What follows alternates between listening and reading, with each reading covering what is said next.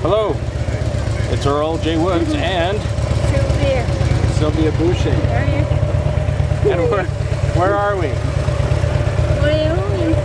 Yes, but specifically, Devil's Tower, Wyoming. We made it. Uh, Sylvia wasn't expecting this, but I needed to see it because it was closer than I expected. And here we are. And it is absolutely spectacular. Yeah. I feel really, really privileged to have seen this.